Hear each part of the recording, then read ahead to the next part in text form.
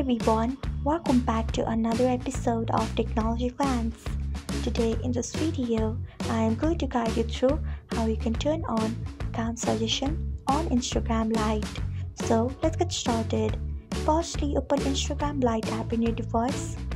Then tap on your profile icon if you haven't. Next tap on three lines icon. After that, tap on settings. Next tap on notifications after that, on following and followers.